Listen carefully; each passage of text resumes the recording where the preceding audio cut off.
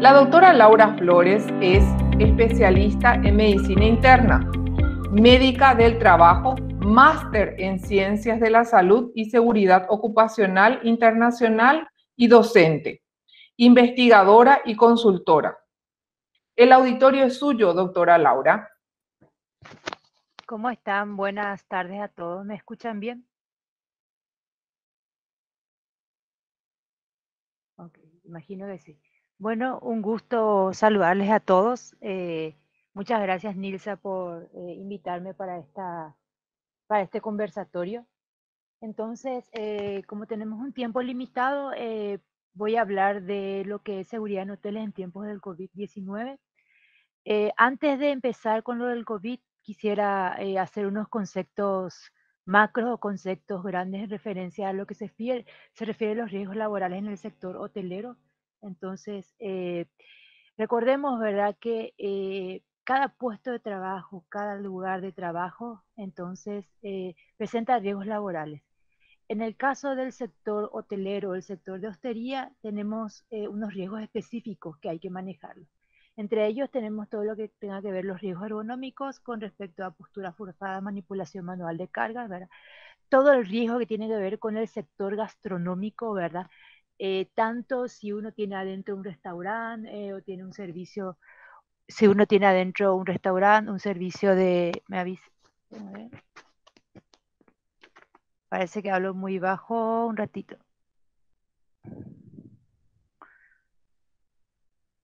Ahí está mejor.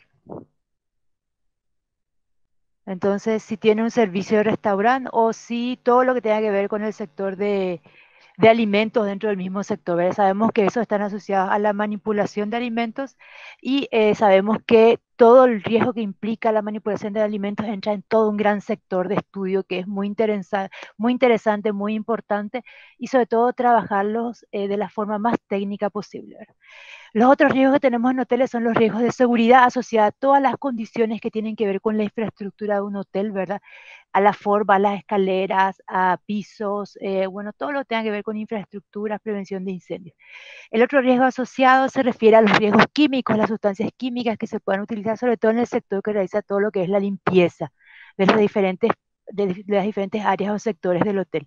Y también no podemos no recordar los, los riesgos psicosociales. Estos riesgos psicosociales sobre todo son asociados a eh, diversas formas de trabajo que tienen los trabajadores del sector hotelero, como por ejemplo trabajar por turnos, estos trabajos nocturnos, el trabajar la atención a personas en sí, que implica una cuestión emocional importante, ¿verdad? Y eh, otros factores psicosociales que podemos ir viendo. Entonces, esto es solamente para una introducción grande, ¿verdad? De eh, cuáles son esos riesgos que podemos encontrar en el sector hotelero. Por supuesto que tenemos otros más, pero estos serían los más importantes. Bueno, en referencia a lo que tenga que ver con nuestra otro tema que es el COVID-19. Para empezar, les quiero comentar que el COVID-19 sería también un riesgo para nosotros. En este caso sería un riesgo biológico. Tuvimos ya ante otras pandemias, por supuesto que sí. Desde que la humanidad está acá, desde que tenemos la evolución con todo lo que sean bacterias, virus, animales, plantas, han habido eh, diversas formas de pandemia con diferentes eh, afectaciones a la humanidad entera. Acá podemos ver algunos casos que ocurrieron en el, desde el 1900 hasta hasta, este, hasta el 2020, ¿verdad? Por supuesto. En este caso nos tocó un coronavirus, existen, existían seis coronavirus causantes de enfermedades en humanos, ahora con este nuevo tenemos un séptimo coronavirus que causan eh, enfermedad en humanos. Este se llama SARS-CoV-2, síndrome respiratorio agudo grave, y la enfermedad que se llama, que produce se llama COVID-19. Esto les coloco porque es importante entender que la enfermedad es COVID-19 y que el virus se llama SARS cov 2 Por supuesto, variante del, SARS-CoV-1. ¿Cómo nos manejamos desde que tenemos esta pandemia? ¿verdad? En realidad, no, todo lo que hacemos en el ámbito ocupacional, laboral, en todos los sectores donde estemos trabajando, eh, donde estemos eh, compartiendo, donde estemos eh, haciendo diversas tareas, actividades, se basan en una serie de decretos. Creo que todos conocerán que probablemente nunca un riesgo biológico, una enfermedad, un riesgo a la salud haya ocasionado tantas normativas nuevas que tenemos. Y este es un caso de esto. Fíjense la cantidad de decretos que hemos tenido desde el mes de marzo en que, empezó, en que empezó todo este tema de la pandemia del COVID. Bueno, eh, algunas cuestiones biológicas que es importante entender para entender cómo es este riesgo biológico, que para empezar, eh, el contagio es a través, la principal fuente de contagio es por contacto directo de una persona infectada, donde estemos a menos de un metro de distancia por más con una interacción de más de 15 minutos. La persona expulsa las gotitas o microgotas o gotículas de saliva y eso puede venir a parar en la otra persona. Esas microgotas, gotículas de saliva, entonces eh, ingresan al cuerpo a través o vía respiratoria, nariz, garganta o por la vía ocular, es la otra vía de ingreso. Y sí o sí necesitan secuestrar una célula de la garganta para replicarse. Ustedes pueden ver acá en amarillo el virus y en azul la célula de la garganta. el virus tratando de ingresar dentro de la célula de la garganta. ¿Qué otra cosa es importante? Porque esto enfatizo? Porque todos los mecanismos de prevención que trabajamos en los diferentes lugares depende fundamentalmente de la forma de contagio. Tenemos otros riesgos que se contagian de otra forma, entonces utilizamos otros mecanismos de prevención. Entonces, entender cómo se comporta este virus es fundamental para saber qué medidas debo de tomar para eh, no contagiar. Fíjense que las gotitas de un estornudo pueden viajar hasta dos metros, ¿ok? Vamos a tener diferentes sintomatologías, fiebre, lo más frecuente, fiebre, tos seca, fatiga, ese que se llama yucuá, caneo, cansancio, dificultad para respirar son los tres síntomas más frecuentes. Eh, la enfermedad se va a desarrollar en forma leve en 80% de las personas. Algunas van a y que no requieren internación, van a requerir aislamiento en su casa, domiciliario, o, o, lo que se está usando mucho ahora, que son albergues. Un 14% va a tener un síntoma severo y va a requerir internarse en un hospital, y un 6% va a tener un síntoma mucho más grave y va a requerir una unidad de terapia intensiva.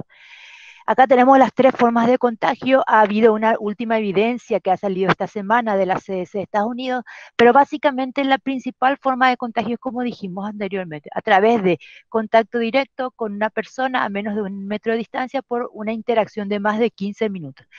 También existe la probabilidad de contagio a través de manos o superficies contaminadas, sobre todo superficies contaminadas, que es mucho más, eh, mucho más infrecuente y también en algunos tipos de lugares, sobre todo en hospitales, servicios de salud, tenemos una, eh, un contagio que es a través de, que se llama aerosol oportunista. Pero eso no lo tenemos en todos los sectores, así que cero estrés en la mayoría. Esto es para mostrarles cómo la tos de una persona o el estornudo genera diferentes microgotículas, partículas que tienen diferentes tamaños, menos de 5 micras, más entre 5 a 10 micras.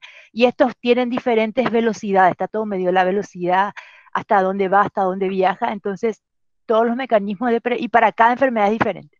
O sea, esto es para coronavirus, pero tenemos otras formas para otras enfermedades.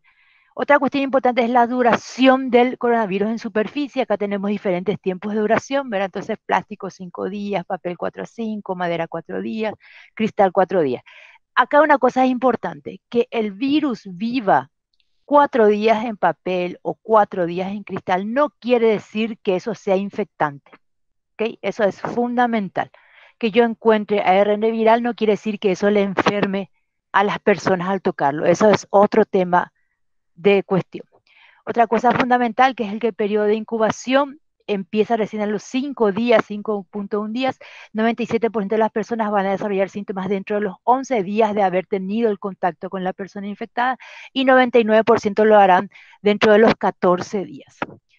Fundamental, como estamos hablando de una cuestión ocupacional, el COVID-19 podemos considerar que sea una enfermedad profesional, eso los dejo que vayan pensando en su, bueno, demos un ejemplo, ustedes están trabajando en el sector hotelero, haciendo una atención a clientes, eh, reciben, se contagian a través de una de, su tarea específica dentro del hotel, entonces puede, puede ser eso una enfermedad profesional. Entonces les dejo eso con la pregunta y al final vamos a responderla. ¿Cuáles son las medidas preventivas en los lugares de trabajo? Y para trabajar medidas preventivas trabajamos todo lo que es la ley y las normas. Tenemos un montón de regulaciones en Paraguay en todo lo que se refiere a salud y seguridad en el trabajo. Esto es solamente para mostrarles la legislación, fíjense todo lo que hay y los tópicos o que abarca cada una de estas legislaciones y regulaciones. Si quieren profundizar más, estoy a las órdenes entonces con todos estos temas.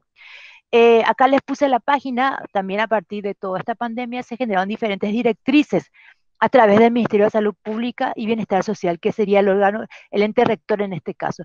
El otro ente rector es el Ministerio de Trabajo, Empleo y Seguridad Social. Los dos han trabajado en conjunto con diversos protocolos, que es lo que hoy se está aplicando en los diferentes lugares de trabajo. Entremos directamente a la jerarquía de control de riesgos. En este caso, eh, para trabajar la prevención, para evitar que nos contagiemos. Tenemos una jerarquía de control de riesgo. Esta jerarquía viene ya de la Organización Internacional del Trabajo y tenemos de controles más efectivos a controles menos efectivos. Entonces, dentro de los controles, por supuesto, más efectivos que eliminan el riesgo sería no ir a trabajar. En este caso siempre hablamos de lugar de trabajo, cosa que eso es medio imposible. Ustedes saben que muchos lugares de trabajo optaron por home working, teletrabajo, ¿verdad? No, es, no va a ser este el caso del sector hostelería, que sí requiere, ¿verdad?, que las áreas críticas estén trabajando a full dentro del lugar de trabajo. Después tenemos las medidas de ingeniería, fíjense cómo van disminuyendo en efectividad, las organizativas, las administrativas y las medidas de protección personal. Las medidas de protección personal son siempre las últimas en el orden jerárquico, quiere decir que son las menos efectivas, por lo cual todo lo que hagamos anteriormente es fundamental para evitar que nos contagiemos o adquiramos la enfermedad. Solamente para recordarles que este SARS-CoV-2 es un coronavirus, es un riesgo biológico para nosotros y tenemos una clasificación de riesgos biológicos. Los riesgos biológicos existen los más malos, los más malos y los más bonitos. Podemos ver del 1 al 4, los más malos están en el grupo 4, ¿ok? que nosotros solamente tenemos hantavirus en Paraguay, los otros no lo tenemos. Y en el grupo 3 está el SARS-CoV-2. En este caso todavía sigue en este grupo, pero, yo creo que va a ir al grupo 2 cuando tengamos vacuna o tratamiento, ¿ok? Porque no tiene una alta letalidad, hay otros virus que son mucho más letales. ¿Cómo trabajamos las medidas de prevención en cuanto a la evaluación del riesgo? Es fundamental que yo determine cuál es la evaluación del riesgo en mi lugar de trabajo, en este caso en el hostelería, para determinar cuáles son mis medidas preventivas. Tenemos exposiciones de alto riesgo, de moderado riesgo y de bajo riesgo. Eh, básicamente dentro de lo que es eh, el sector hostelería tenemos dos grupos. Pueden estar en un lugar en exposición de riesgo moderado para aquellos sectores hosteleros u hoteleros que están funcionando hoy como albergues. O sea, aquellos lugares que están teniendo pacientes COVID positivos o que están viniendo del extranjero, ¿verdad? Por, para guardar la cuarentena obligatoria correspondiente. En este caso, como nosotros sabemos que hay pacientes COVID positivos, eh, la exposición sería de riesgo moderado. Y en aquellos hoteles o sectores hosteleros, eh, cualquiera sea su nivel, su complejidad, donde no tenemos casos confirmados y o sospechosos, por lo menos que sepamos. Entonces va a ser una exposición de bajo riesgo. Esto es para tomar las diferentes medidas preventivas que deben de hacerse, ¿verdad? que son los niveles de bioseguridad de acuerdo al riesgo.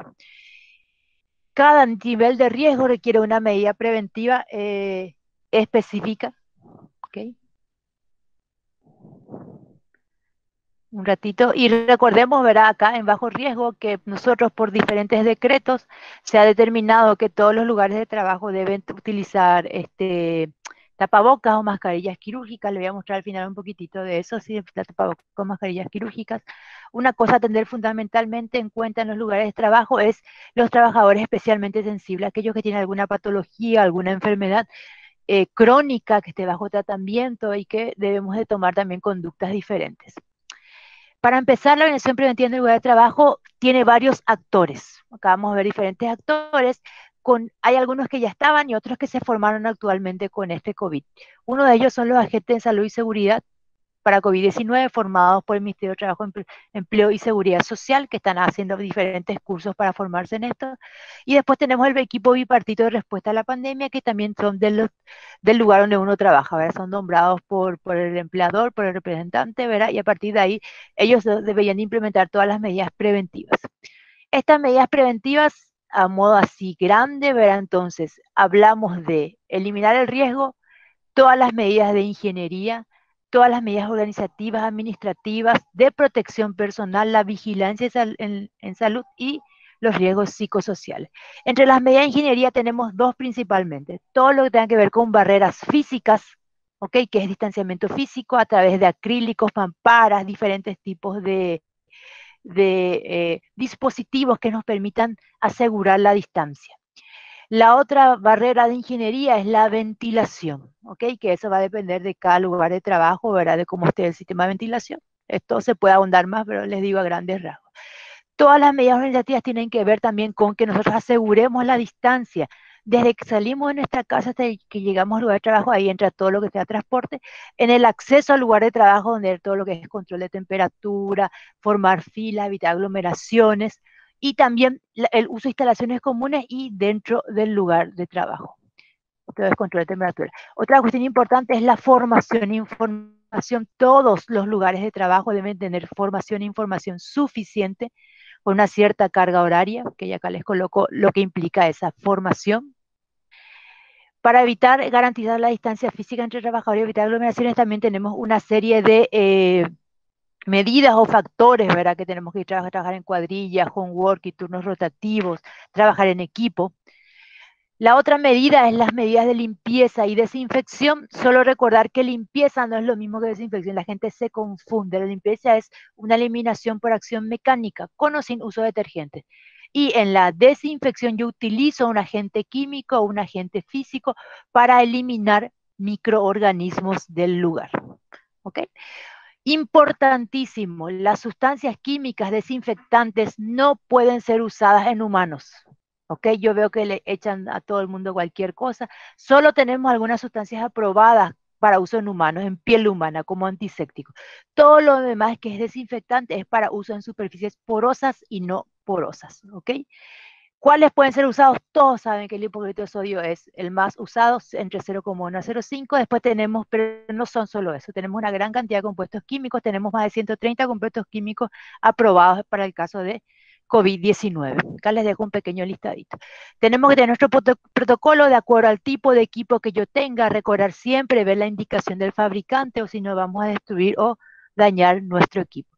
También saber cómo hacer la dilución, esto está en todos los lugares, en todas las redes, no es tampoco nada nuevo, pero por ahí a veces yo sé que la gente se equivoca. Cabinas de desinfección no están aconsejadas para estos niveles, sobre todo para el sector de hostería. Las medidas de higiene personal yo creo que seguramente les entran a ustedes por todos los sistemas de información que tenemos, todo lo que tiene que ver con lavado de manos, etiqueta respiratoria, el manejo de la ropa, así que hacemos con la ropa, cómo lo lavamos, las medidas de protección personal, va a depender del tipo de riesgo que tengamos en el lugar de trabajo, eh, una cosa importante, eh, tenemos diferentes tipos de dispositivos, acá tenemos las mascarillas quirúrgicas, los respiradores y los cubrebocas de tela o tapabocas de tela que para nosotros no son equipos de protección individual en sí, sino simplemente son eso, son cubrebocas o tapabocas. Después tenemos mucho más complejos, diferentes tipos de respiradores, con diferentes tipos de protección de acuerdo al tipo de riesgo. Es fundamental que si uno elige sea una mascarilla respiratoria, una mascarilla quirúrgica, un tapabocas, saber cómo utilizarlo, saber cómo desecharlo, saber cómo lavarlo y también el tiempo que debemos usarlo. En cuanto a los trabajadores especialmente vulnerables que tengan una enfermedad crónica, eh, desarrollamos una planilla de evaluación de riesgo que nos permita determinar, de acuerdo a cada tipo de riesgo, si la enfermedad está controlada o no controlada, qué hacemos con el trabajador. ¿Le dejamos en el mismo lugar? hacemos homeworking, teletrabajo, hacemos una aislación en el lugar de trabajo, o sea, hay muchas maneras de hacer este tipo de, eh, aislamiento de acuerdo a la enfermedad.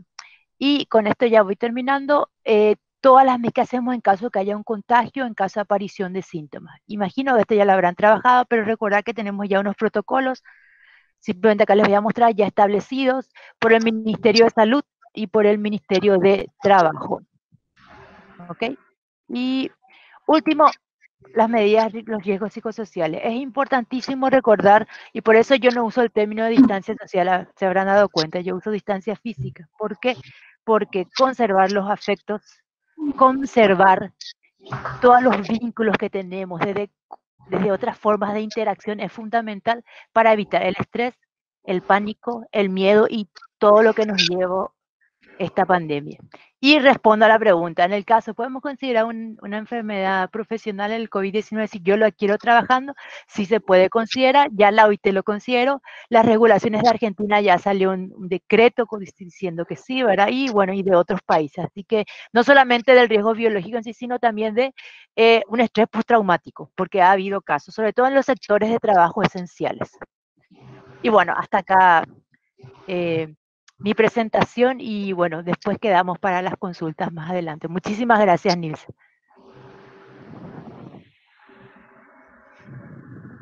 Muchísimas gracias, doctora. Les recuerdo a todos los participantes mantener en silencio sus micrófonos y al término de la presentación estaremos eh, respondiendo las consultas que se llevan a través del chat. En esta segunda parte, quiero invitar a la licenciada María Centurión como próxima disertante. Ella es egresada de la Facultad Politécnica de la carrera de licenciatura en hotelería.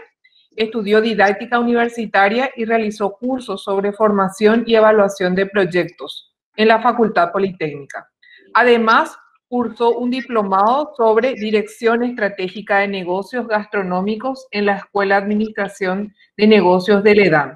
Ella es docente de la Facultad Politécnica, realiza trabajos de asesoría para unidades de hospedaje y locales gastronómicos en Asunción y posee una amplia experiencia profesional en el rubro turístico, hotelero y gastronómico. El auditorio es tuyo, María. Muy buenas tardes. A continuación, les proyecto un material mediante el cual les presentaré el tema a tratar el día de hoy. Los hoteles eh, que están en funcionamiento actualmente son los denominados hoteles salud, los cuales operan de una manera distinta a lo, a lo habitual, especialmente a lo referente a las funciones del Departamento de Gobernancia, ya que se rigen por protocolos establecidos por el Ministerio de Salud. Es decir, los procedimientos de trabajo en áreas como habitaciones son diferentes. Por ejemplo, eh, el pasajero debe hacerse cargo de la limpieza diaria de su habitación, él debe limpiar su, habitación. Eh, los amenities son colocados en bolsas selladas de manera a asegurar de que nadie más eh, haya tocado o usado esos, esos productos. Y otra variación es la del lavado de, de blanquería y ropa del huésped una vez por semana. Por eso es que hoy les quiero hablar de las medidas de higiene y seguridad en tiempos de COVID desde la perspectiva del Departamento de Gobernancia. Los procedimientos de limpieza y desinfección existen desde hace tiempo. Por ejemplo, la gobernanta siempre estableció en sus manuales procedimientos de limpieza para cada parte de la habitación, cada parte del baño, eh, procedimientos de limpieza profunda para ciertos puntos y procedimientos de desinfección de ciertas áreas o zonas del hotel. Eh, es decir, eh, que, el Departamento de Gobernancia de, Hoteles hace muchísimo que tiene estructurada y planificada la limpieza y desinfección, especialmente aquellos hoteles pertenecientes a alguna cadena hotelera o en los que el Departamento de Gobernancia esté bien establecido.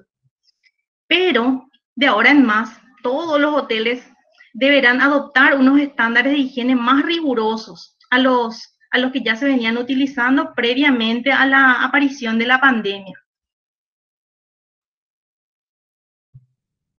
Para este nuevo proceder, la gobernanta como líder y su departamento como, como ejecutor serán más que nunca los pilares fundamentales para la aplicación de las nuevas medidas de higiene y desinfección.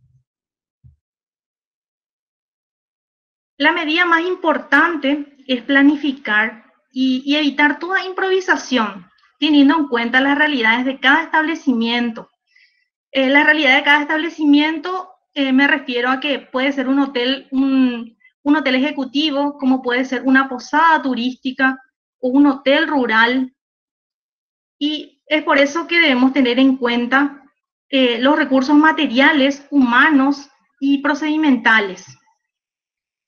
La gobernanta como cabeza de este departamento eh, propondrá alternativas aplicables para esta nueva situación en la que la bioseguridad deberá prevalecer. En cuanto a recursos humanos, eh, el estado de salud de los trabajadores. Se deberá vigilar diariamente el estado de salud de cada uno. Eh, por ejemplo, si llegan con tos, fiebre, síntomas de gripe, si tienen alguna enfermedad de base que los haga vulnerables para, esta nueva situación, o, sean adultos mayores, de manera a, tomar las medidas más eficaces para, para cada caso. Luego tenemos la buena comunicación y capacitación constante al personal del departamento, es decir, capacitarlos permanentemente sobre las medidas a aplicar, ya sean recomendaciones del gobierno o cualquier eh, variabilidad en los procedimientos internos eh, ya existentes.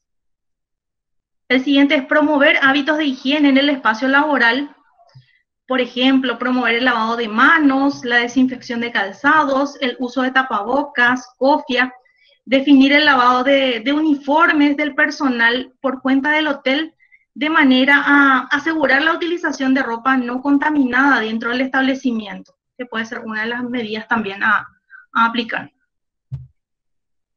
En cuanto a recursos materiales, definir nuevos productos y elementos de limpieza a utilizar. Sabemos que en el Departamento de Gobernancia existe un, un abanico grande de productos utilizados, ya que hay diferentes tipos de superficies. Pero teniendo en cuenta las recomendaciones del Ministerio de Salud, por ejemplo, el alcohol al 70% se podría incluir o el hipoclorito al 5%. Después tenemos invertir en trajes especiales de bioseguridad, especialmente para casos en los que el personal tenga un trato muy directo con el huésped, que no sabemos hasta cuándo. Actualmente lo usan los hoteles salud, pero no sabemos si eso, esa práctica, práctica va a tener que continuar. La sostenibilidad en cuanto a presentación de amenities. Muchos hoteles venían tratando de disminuir la cantidad de desechos que se producían con el uso de presentaciones, eh, llamémoslo mini, de productos para uso del huésped como los amenities. Pero con esta nueva situación se verán obligados a volver a ellos. En los hoteles estaban, muchos hoteles estaban utilizando los dispensers de shampoo, de acondicionadores, que eran recargables y de otros productos. Pero ahora con esta nueva situación y para, para dar una, para, brindar tranquilidad y seguridad al huésped, eh, se verán obligados a volver a las mini presentaciones, ya que de cierta forma este modo de, de presentación es, sabemos que es menos sostenible, pero es más seguro. En cuanto a procedimentales, procedimientos, organizar los turnos para evitar la aglomeración de personas, organizar los turnos, por ejemplo, eh, de almuerzos del, personal del área, eh, organizar los trabajos, eh, dividiendo bien la cantidad de personal con las áreas a limpiar para que no estén aglomerados en un solo lugar. Permanente comunicación con todo el personal del hotel sobre las disposiciones establecidas o la modificación de estas mantenerlos siempre, siempre eh, comunicados, informados, controlar la entrada de empleados a zonas internas del hotel. Eh, con e, aquí me refiero, por ejemplo, al personal eh, de áreas públicas, como los jardineros, guardias, ballet parking, que deban ingresar a los, a los vestuarios, al comedor del personal u otra zona interna. Para estos casos se deben hacer cumplir las medidas establecidas de seguridad e higiene. Para servicios tercerizados, reforzar el control de ingreso a los mismos al establecimiento siguiendo los protocolos. En este caso, eh, nos referimos al personal totalmente ajeno al hotel, quienes son contratados para realizar trabajos específicos como limpieza de vidrios en el caso de edificios muy altos, el retiro de escombros en ocasiones en que estemos realizando mejoras en el hotel o la reparación de algún equipo en particular. Si bien para estas ocasiones también ya existían procedimientos de control, eh, por ejemplo, de la identidad de la gente ajena al hotel que iba a entrar, horarios específicos de trabajo tercerizado y normas en cuanto al uso de uniformes dentro del hotel, igual de, eh, con esta nueva situación, todos estos procedimientos se, deberán reforzar. Nuevas prácticas en cuanto al uso de trapos o paños para la limpieza en habitaciones. Si bien las gobernantas suelen tener el máximo cuidado sobre los distintos tipos de superficies a limpiar en un hotel, ya sean vidrios, espejos, madera, mármol, eh, televisores o teléfonos, identificando estos trapos eh, para cada caso, ya sea por colores, por etiquetas o por texturas. A partir de esta nueva situación, estos cuidados serán más extremos todavía. Quizás, opino yo, mi opinión personal, quizás se deba tener un juego de trapos exclusivo por habitación de modo a no contaminar otras zonas, otras habitaciones u otras zonas. Eh, aunque esto, al igual que todas las reformas o medidas que, se, se, requieren ahora, eh, significarán un costo, un costo elevado para los hoteles. Intensificar la limpieza de superficies u otros elementos de permanente utilización, por ejemplo, dentro de la habitación, limpiar más los escritorios, las mesitas de luz, los controles. Eh, los controles actualmente en los hoteles de salud están forrados con un plástico. Eh, igual eso se limpia, se, va a tener que limpiar o cambiar quizá todos los días, intensificar la limpieza de, esos puntos. Por ejemplo, los placares, las, los picaportes de puerta. Después, limpieza calendarizada o continua de los filtros de aparatos de ventilación. Si bien ya se tiene, se manejan en los hoteles los calendarios de limpieza y mantenimiento de zonas y equipos eh, para, para esta nueva coyuntura, digamos, eh, no, nos tocará hacer mucho más seguido. Si se hacía una vez por semana una limpieza o un mantenimiento, se harán dos veces o tres veces. Eh, y si se hacía mensualmente, quizás se haga dos o tres veces al mes. Colocar menos accesorios decorativos en la habitación. Me refiero a vasijas, cuadros, adornos, eh, que por el diseño que tengan podrían tener alguna ranura o ser porosos, que acumulen, eh, que puedan acumular suciedad, bacterias, difíciles de quitar por, por el diseño en sí.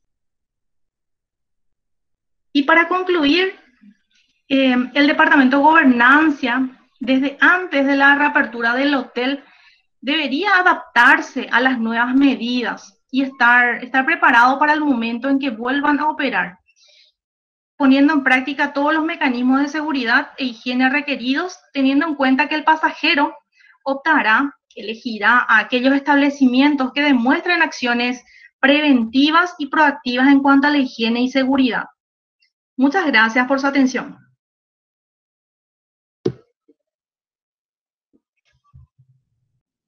El mercado local está en capacidad de producción y de calidad para satisfacer las cantidades de amenities que se requieren en los establecimientos hoteleros, teniendo en cuenta que muchos hoteles ofrecen amenities importados y la situación económica y el contexto hoy hace difícil eso. La realidad, que, la realidad es que es, es limitada es limitada la, la cantidad de proveedores de amenities, pero yo creo que aprovecharán este, esta situación o este momento eh, para, para, poder adaptarse a la, la, cantidad que va a requerir eh, el sector hotelero a partir de ahora. Sí, otra consulta que nos ha llegado se reducirá la cantidad de habitaciones por camarera. Con todo esto, es parte del ratio de la habitación. Debería de ser una, una de las medidas, debería de ser una de las medidas em, por, justamente por protección al personal y para, para que esta limpieza y esta desinfección de habitaciones y zonas sean realmente reforzadas si bien ya se venían haciendo bien, teníamos procedimientos, eh, se, tenían eh, revisiones y supervisiones de todas las zonas después de los trabajos de, de, las mucamas, eh, en este caso van, van a tener que usar más tiempo aún para hacer cada habitación y eso requerirá tener un poco más de personal para poder cubrir toda la, la cantidad de, de áreas a limpiar. Bueno, esta consulta creo que es para la doctora. Habla sobre el reducido. El recepcionista es aquella persona, le explicó a la doctora que está fuera del ámbito de la hotelería, que atiende a los pasajeros que ingresan y que están en constante circulación dentro del hotel, ya que ellos normalmente eh, trabajan en horarios de tres turnos eh, de ocho horas. Sí, no, no, no escuché la pregunta. Si el tiempo de permanencia ah. del recepcionista debe ser reducido, ya que normalmente trabajan durante tres, en tres turnos, en jornadas de tres turnos. Ya, bueno, muy buena pregunta. Eh, los diferentes ámbitos laborales eh, han reprogramado sus horarios laborales justamente para disminuir, eh, para disminuir la, la probabilidad de contagio y disminuir, como dijimos, asegurarnos, ¿verdad? Que tengamos mayor espacio y mayor tiempo, ¿verdad? Para que los trabajadores no estén expuestos al COVID-19. En este caso, para el sector hotelero, en el caso de recepcionistas, eh, no hay cambios en cuanto a lo que es la carga horaria en sí. ¿okay? Cambios en realidad en cuanto a la carga horaria no existen. Lo que sí se existen es eh, trabajar más en cuadrillas, ¿ok? O trabajar, eh, como he visto en algunos lugares donde, por ejemplo, nosotros tenemos una tanda de recepcionistas que están lunes, hacen lunes, miércoles, viernes, no, no, no que estén en contacto entre sí todo el tiempo. Para poder lograr eso, probablemente requerimos más personal y también a lo mejor requerimos una distribución diferente de la carga horaria. Eso es lo que se recomienda en general para todos. O sea que las personas que están todos los días, tratar de disminuir las personas que están todos los días en contacto, de lunes a viernes, de lunes a sábado, como sea, el, de como sea la cantidad de horas que le corresponden a cada turno laboral. No sé si respondí la pregunta en sí, ¿verdad? Eh, ahora estamos en la fase 3, una cosa importante. La fase 1 y la fase 2 requerían disminuciones de carga horaria, ¿ok? Estamos en la fase 3 y en la fase 3 prácticamente todos los turnos se han, se han vuelto ya los normales anteriores, excepto en algunos casos específicos como shopping, restaurantes y algunos tipos de comercios, pero en general los horarios se han vuelto eh, normales. Yo en este caso recomendaría, ¿verdad? Eh, en el caso de recepción, que se tienen que tomar todas las medidas preventivas, en este caso trabajar las medidas de ingeniería las barreras físicas y la parte de ventilación, que son de entre todas las medidas las que nos dan más protección.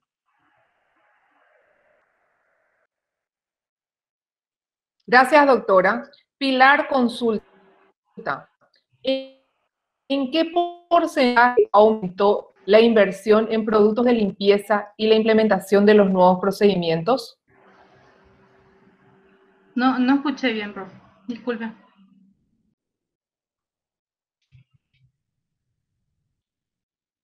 Pilar consulta, ¿en qué porcentaje aumentó la inversión en productos de limpieza y la implementación de los nuevos procedimientos? Hablamos de hoteles. ¿Sí? Eh, exactamente, sí. El porcentaje exacto no, no podría decirle, porque actualmente los hoteles que están en funcionamiento son los hoteles salud. Entonces, decir un porcentaje que haya crecido en el sector ahora, en este momento, eh, es difícil mencionar, ya que no, todo, no, no todos están en, operando actualmente, pero sí, supongo que habrá subido bastante y eh, habrá subido, eh, pero no en el sector exactamente en este momento. Yo creo que después, cuando empiecen a operar los hoteles, sí vamos a notar, vamos a, hacer, a poder medir mejor si es que en el sector qué tanto ha crecido ese porcentaje. Otra consulta, profesora María. ¿Se está teniendo alguna política para la adquisición preferentemente de productos de limpieza nacional o de industria nacional? Y cada hotel tiene sus políticas. Em, existen ya proveedores que se están, que están poniendo dentro de su variedad de, productos eh, los, los que cumplen eh, las medidas eh, establecidas por el Ministerio de Salud. Eh, pero las políticas en sí dependen de cada establecimiento. El Ministerio de Salud lo que hace es recomendar que, por, por ejemplo, eh, lo del alcohol al 70%, lo del hipoclorito, lo del fenol, pero em, las políticas de compra de productos depende de cada, de, de las políticas internas de cada, de cada establecimiento.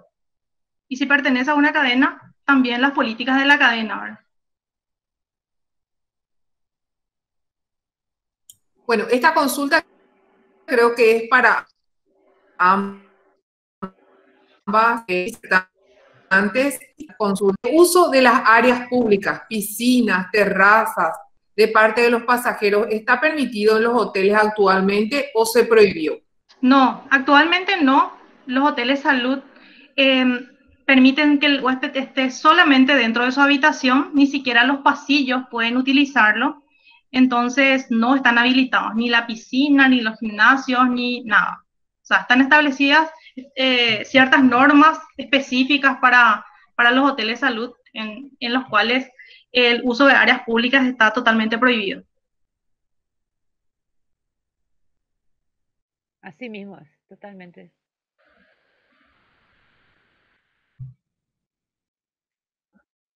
Ok, el tiempo de permanencia de las mucamas va a ser más reducido, no, pregunta Pilar. Yo creo que al contrario, el tiempo de permanencia de la mucama quizás aumente por lo menos unos 10 a 15 minutos más dentro de la, de la habitación. Siempre dependiendo de qué tipo de habitación sea, quizás sea una habitación checkout que requiere, requiera más, más, más detalles que una habitación ocupada o una habitación desocupada y que, que, requiera un retoque nada más, ¿verdad? Entonces, pero ahora con estas nuevas eh, reformas y como le, mencioné hace rato, eh, muchos muchos procedimientos que ya tenemos establecidos deberán ser reforzados. Entonces requerirá un poco más de tiempo de las mucamas dentro de las habitaciones durante el trabajo.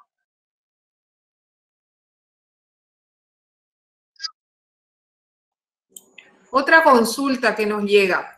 ¿Va a haber un certificado visible para el huésped para que vea al llegar y sepa que ese hotel está certificado para operar bajo Oficialmente las normas todavía no tenemos algo al respecto, pero sí sé que en otros países ya se están estableciendo hasta líneas aéreas, eh, destinos turísticos, también están estableciendo algo, algo así como un sello de, eh, de, zona libre de, virus o del COVID, ¿verdad? Eh, o, zona recuperada o, o zona que está apta para, poder, eh, para poder ser eh, visitada, ¿verdad? En el caso de los hoteles pasa lo mismo, pero actualmente nosotros a nivel nacional todavía no tenemos un comunicado oficial al respecto en cuanto a, sello de calidad fuera del establecimiento, así como, como preguntan, ¿verdad? De poner una, una placa que diga esto y aquello, ¿verdad? Tenemos dos últimas preguntas. Ever Zárate consulta. En muchos hoteles es común ver habitaciones triples y hasta cuádruples. ¿Cómo afecta la pandemia a este tipo de habitaciones, ya que dentro de la misma se encuentran muchas personas? ¿Se puede vender este tipo de habitaciones? Sí, es una, buenísima pregunta. Em, yo creo que se, se, van a vender y hasta cierto número de de, camas disponibles dentro de la habitación. No sé si permanezca el la cuádruple, pero eh, sí se van a tener que vender. Simplemente eh, se tendrán que aplicar nuevas medidas para esos casos. Quizás se tengan que ser todos de, un mismo grupo. Ustedes saben que existen hoteles en, los que eh, se comparten habitaciones también con extraños, ¿verdad? O sea, las camas libres. Pero em, en, el caso, e, en los casos más habituales son familias las que, las que suelen reservar este tipo de habitación o, grupos específicos de amigos, de deportistas. Em, yo creo que sí van a seguir, eh, se van a seguir vendiendo, pero bajo normas específicas de, de higiene y seguridad. Últimas consultas. ¿Existe una lista de las cuales, de cuáles son los hoteles que funcionan como hoteles salud? Sí, existe una lista, existe una lista y creo que van aumentando cada vez más también porque se les, se les dio una capacitación, se les hizo una evaluación y de a poco se van eh, agregando, ¿verdad? En distintos puntos del país. Sí, hay una lista y la tiene la Senatur.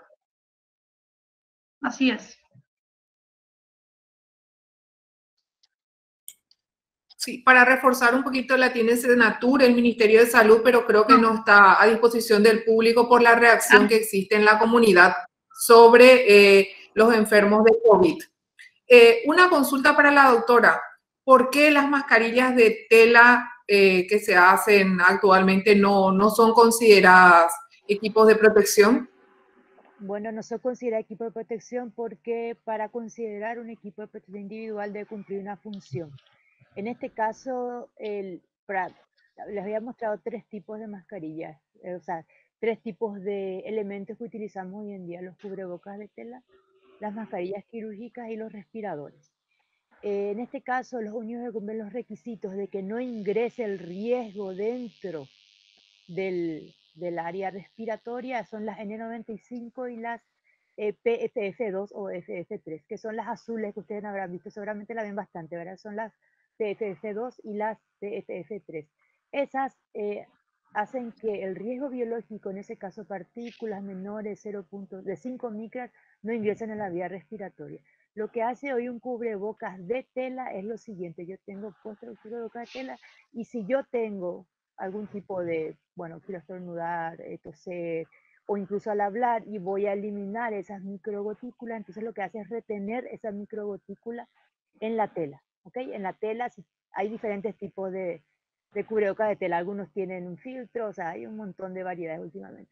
Pero si tengo una persona enfrente mía a menos de un metro de distancia y la persona es COVID positivo y empieza a hablar, toser, estornudar, y depende de la carga viral que tenga, eso puede entrar sí o sí en mi vía respiratoria porque el nivel de protección es muy, muy bajo de, las de los cubrebocas de tela.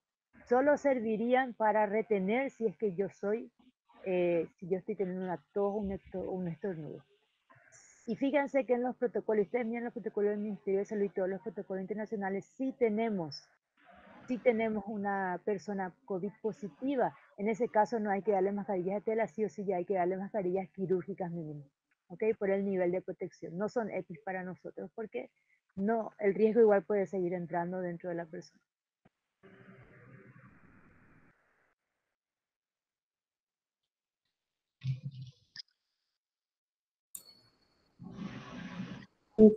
Si uno de los huéspedes presenta síntomas durante su estadía, ¿cómo sería el procedimiento el hotel con el Ministerio de Salud o cuenta con un médico a su disposición? Yo le puedo responder como organizativamente como es y no sé si la licenciada quiere agregar. Eh, todos los casos de sospechosos sintomáticos con un solo síntoma, dos o tres más síntomas que yo les mostré al listadito, todos deben manejarse de la misma forma que es llamar al 154. Todos. De donde venga la persona, sea de acá, sea de allá. Entonces, una vez que se determina el 154 a través de la, eh, de la conversación telefónica, la gravedad y los síntomas, entonces tenemos diferentes grados de actuación.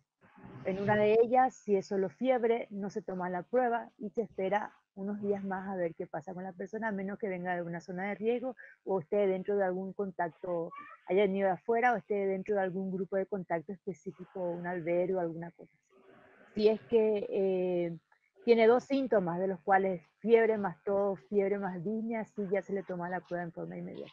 Y todos los siguientes pasos que se van haciendo siempre es a través del 154 puede contar la empresa con su hotel, puede tener seguro médico, con su médico, todo lo eso, pero eso en realidad es parte del proceso del manejo en sí del caso. Siempre es a través del Ministerio de Salud.